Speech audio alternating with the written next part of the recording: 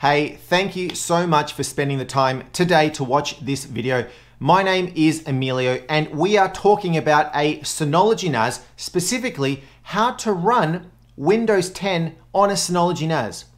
Now that's awesome. You can actually run, install Windows 10, a VM or a virtual machine onto your Synology NAS directly. Now, I'm not talking about having a computer, running a virtual instance, and then using your Synology NAS for the storage. I'm actually talking about installing a VM directly on the NAS. It's super cool. We're going to talk about that in this video right now.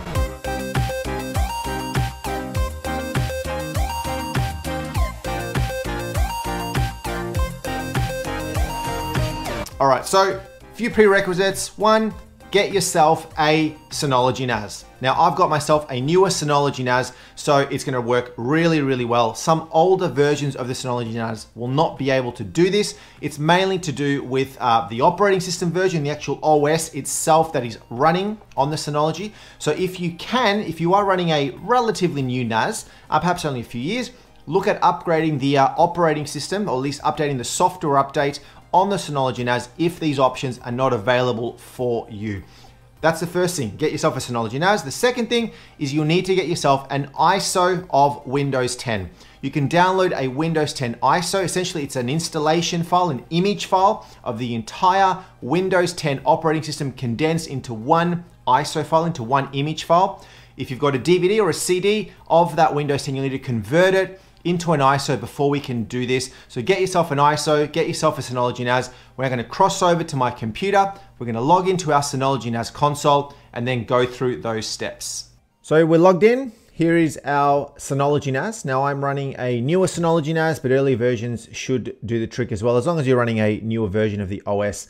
And uh, we're gonna look at how to get a virtual machine running. Now, of course, you need to know how to log into your Synology NAS first, get those admin credentials, log in, and here we are. Now, of course, the other thing you want to do is you want to have enough capacity on your Synology NAS to be able to actually install the, uh, the operating system that you want to install. Uh, and you need to have a fairly fast Synology NAS. That way your, your VM that you're going to be installing uh, is not going to be running too poor because when we are configuring the VM, you're going to have to allocate some CPU and RAM and hard drive space to that particular VM which is going to then be shared with the resources that are on your Synology NAS. So if you've got a slower Synology NAS, if you're running out of space, then that's going to directly affect the actual running of your VM. So get something that's pretty well, um, but you can use this just for testing. So maybe you can actually lower the specs of your VM first and then see how it goes. And if it runs great, excellent. But then you can also later on increase those resources uh, just by powering the VM off and then just pump up some of those resources and then try it again and see how that goes. So uh, we're logged in right here. Now the first thing we need to do is we need to go into the package center, which is this area right here. And we need to install some software. Now you're sort you may be familiar with this, but package center is essentially where you go and get yourself all of your uh, apps for your Synology NAS. And we're gonna search for uh, virtual. So just type in virtual into here and press enter and you'll see that this particular icon shows up. This is the app, Virtual Machine Manager. Okay, so this is the app that we are going to install. You can see a bit more information about what it does. Uh, and what its purpose is. So this is the app that we're going to use. It's actually a Synology application. So it's native to the Synology um, brand of products, which makes it very, very easy and make sure that compatibility is where it needs to be as well. So let's go ahead and install that. Uh, that may take just a little bit of time. Okay, so you'll see that um, under my um, main menu, it's actually listed now in here, Virtual Machine Manager. So we can go and open that up. And here we are presented with just our wizard. Okay, so the first thing we're gonna do is we are gonna select next. Uh, here, it's gonna ask me, check if the host settings are suitable for running virtual machines. So it's gonna give you a bit of a status here, essentially around your, um, whether your NAS can actually run a host um, virtual machine or not. Okay, so in my case, these first two are enabled and these next two are eligible. If you have an issue with one of these, it doesn't mean that it won't run. If it says it's not eligible or it's disabled, you can turn those on um, and you just have to sort of check essentially what they are and what the impact may be. But in my case, we're all good. So we can select next. Now it's going to ask me what volume do you want to install this on. Now, of course, the, the whole purpose of a NAS is that you have a whole bunch of disks. You select those disks, you create a volume out of those disks. So in my case, I've just got the one volume.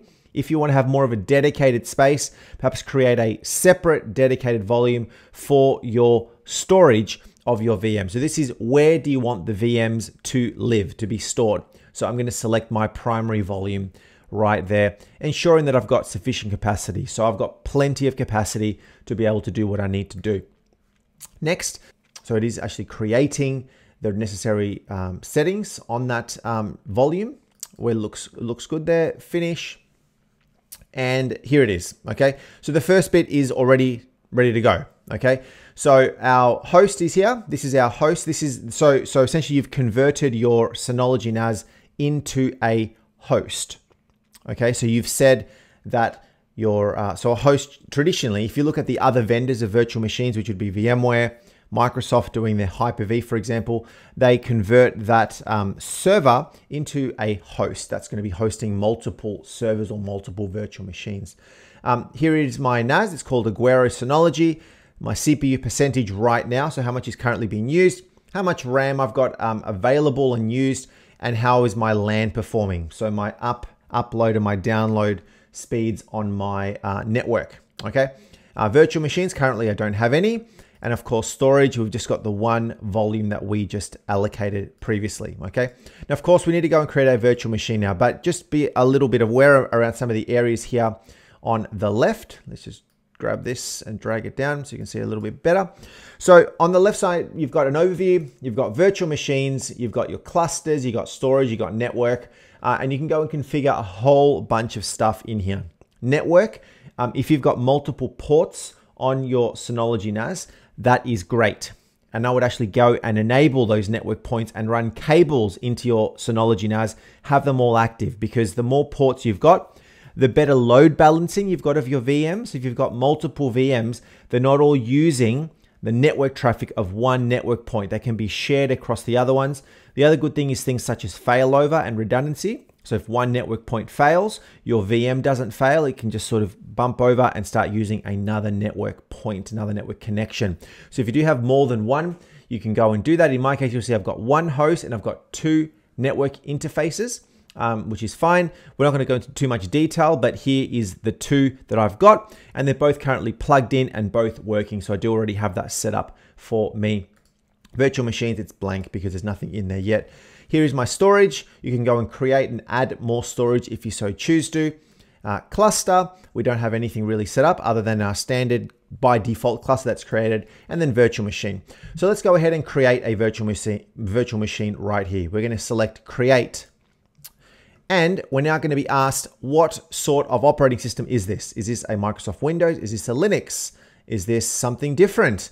Uh, so in our case, we're going to build a Windows 10 VM. So we're going to select Microsoft Windows and select next and just making sure that it's going to select it on this storage. So this is the storage that we're going to be installing it onto. So we're leaving that as the default and say next. Uh, what do you want to call the VM? Okay, so you need to give the VM a specific name, a, a name that is uh, relevant. So I'm going to actually call this VM, this is a uh, Win server. I'm going to call it Win 10 server test. Okay, so I'm just using this for testing purposes, but of course you give your, um, your Windows 10 VM a relevant name that is relevant for you or whatever VM that you may be building. Um, how many CPUs do you want to be able to allocate to that VM? So one, two, three, or four.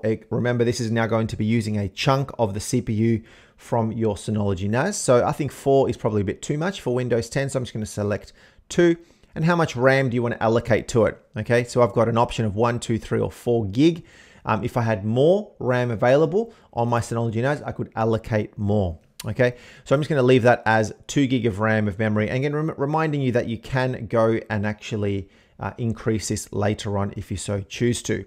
Next, virtual disk. Now, of course, your Windows 10 has got a C drive. Any server that you build, whether that be Linux or Windows 10, or even on a Mac computer, has some sort of a disk drive, your primary hard drive. And this is asking you how big do you want that to be?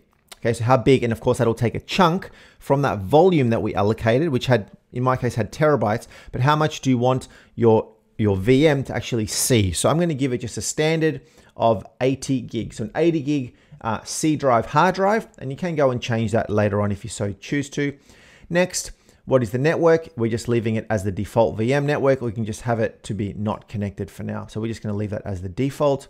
And next, Okay, now this is the guest agent. Okay, so this is uh, for drivers of Windows virtual machines. So by default, of course, the Synology doesn't understand the Microsoft, the Windows operating system.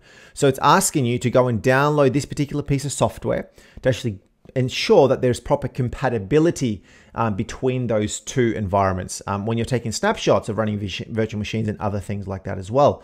So we're going to select download. It's going to go out to the internet and download that particular guest tool software for my Windows virtual machine. It's done. And then you'll see it's actually listed it right here, additional ISO file. This is the file that was just downloaded. Now here, the very first step is the ISO file for boot up. So now this is where you point this particular um, instance that we're creating to the ISO that you have downloaded. So you have to go and find that ISO. Now, what I'd recommend, of course, if you've downloaded this onto your PC, onto your Mac, whatever computer that you're using to connect to your Synology, uh, you need to upload that onto the Synology, preferably. Go and so, so go and upload it. Um, use the file station, which is right up here. Okay, you can open up your file station and actually upload the file. So go and upload the file to your Synology NAS to a location that is relevant for you, and then you go and navigate to it, okay? So I'm gonna go and select Browse, I've got all of my stuff under data applications. And then I've got a folder called Microsoft and I've got Windows 10 right there. And the particular version that I'm going to be using is this one right here. And I'm going to select that. So now I've got my Windows 10 ISO selected. Auto start, I'm going to say to yes, because I do want it to start automatically. Um, you can set it to no, but I like as soon as I boot up, let's make it start automatically. Uh, the BIOS, do you want a legacy or UEFI? So this is really depending on the operating system that you're going to be installing, the ISO itself. So we're going to leave that as the BIOS because BIOS is what's generally used with uh, Microsoft. Um, and the, the rest we'll just leave as the default, okay? We're not going to change anything there. So let's select next. Now, assigning permissions. So who do you want to um, have permissions to be able to on and off? We're going to say admin and apply. So in my case, I had it left as powered off. So now it's ready to go. Um, you'll see there's a few, you know, it's highlighted, it says powered off, and there's a few, you know, bit of information on the bottom showing me what this is doing, the virtual disk, the network that it's going to be using.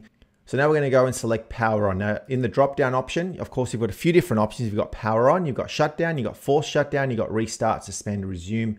Now that is now preparing, okay? And you'll see that things now start to spin up. Now, this area right here is to actually connect and bring up a window where you can see what's going on. So we're going to select connect. You'll see it's opened up a separate tab.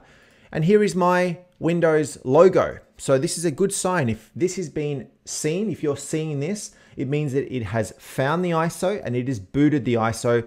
And now Windows 10, the actual installation or the actual setup is actually now beginning. Now, if this didn't work for you, perhaps it's saying that the disk is not found or please insert or the ISO is corrupted, it's because perhaps the ISO that you have got is not valid.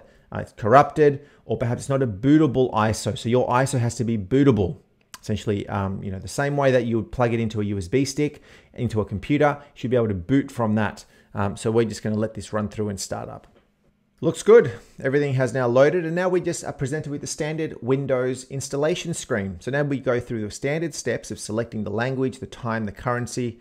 Uh, of course, you can go and change that. And if you can tell from my accent, I'm not from the US. I'm from Australia, if I can, if I can find it. And next, install now. And the setup will now continue as normal. You enter in your product key if you have one. Uh, you can say, I don't have a product key if you're planning on doing it later. Select your version of Windows 10 that you want to install. We're going to be doing Windows 10 Pro. Now your version may look slightly different if you are running a different version of Windows, of course. Accept the license conditions, terms and condition. Uh, we're going to say uh, custom, install Windows only. Right there, making sure that our drive is allocated. And here you see that this is the 80 gig that we have allocated. This is the 80 gig that we defined at the very start when uh, we were saying we want an 80 gig C drive or at least 80 gig of capacity. And that looks good. So we can select that and say next. And now the installation begins. So it's going to do a standard setup, uh, copying the Windows files, installing it. So we'll let this run through now. So if everything has worked, you should be presented with this screen. Now, um, your computer would have, well, the actual VM itself would have rebooted a couple times. Now, if it uh, did get stuck on anywhere, I have seen where sometimes it can get stuck when it's rebooting. Here's a couple things that I would do. Um, back in here, you could actually shut down the VM completely, just get it turned off. And under the edit area right here, under others, get that ISO file for boot up unmounted. Then okay, and then boot it up again. And if it does happen again, just give it another restart and it should be fine and it should be presented with uh, this screen right here, and then you can continue your installation. And hey, look, right from here, I can use my mouse right in here, and this is actually now running Windows. So we just go through the basic uh, installation, or at least the basic config of Windows, which is very, very straightforward. Uh, and then you'll be presented with your login screen. So there's a keyboard right. Yep, we're leaving all of this as the default. not going to be changing too much uh, right in here. Of course, the overall look and feel, the customization, the username, the password, the accounts that you want to use, you'll configure all of that over the next few screens. You'll make it your own computer, uh, your own Windows 10 computer. And now we're presented with just this little spot right here where it's doing some final configurations. Make sure you do not turn off your PC or your virtual machine. And then we go to the next step. Excellent, all done. So you can now see uh, it's going to ask you to connect to a network. We're going to say yes, allowing your PC to be discoverable, your actual VM itself. Um, and now that is it. Let's just move this screen just here. But now I can fully use my start menu and this is now Windows 10 uh, running within my Synology NAS. And of course I can go and shut this down. I can access it. I can do everything that I need uh, within my Windows Explorer. Right in here, of course, I've got access to uh, my 80 gigabyte hard drive, which we set up at the very start. And then this is actually quite good and something that I'd recommend doing straight away is actually going and installing the tools that we mounted earlier. If you remember on here, we looked at this area under the other section. We mounted this additional ISO, which is what was downloaded to allow better compatibility between the two. So what I'd recommend is going and actually installing this itself. So you go and open it up uh, and we're just going to uh, run this right here. It should auto start. Sometimes it doesn't auto start, but you just run this, you go and install it, you go follow through the steps, uh, and then will likely ask you to restart. But this is now the guest tool for your virtual machine. So you've either got this working now or you're gonna be doing this after watching this video, but hopefully now you've got Windows 10 running on your Synology NAS it is awesome. I've been doing it for a while and it is fantastic. And it's great, especially if you don't have a spare computer. You want to build yourself another computer or even have yourself another Windows 10 computer out there. Well, the great thing is you don't have to get a, another computer. You just install it straight onto your Synology NAS itself. That's it. Thank you so much for spending the time. Do what you need to do by commenting, liking, and subscribing, clicking on that bell on my face right there to be kept up to date with all of my videos. And also do check out some of my other videos around the NASs, the Synology specifically, uh, that hopefully some of those are also helpful to you and any other videos so that you keep up to date with what is going on. Thank you again. We'll see you next time.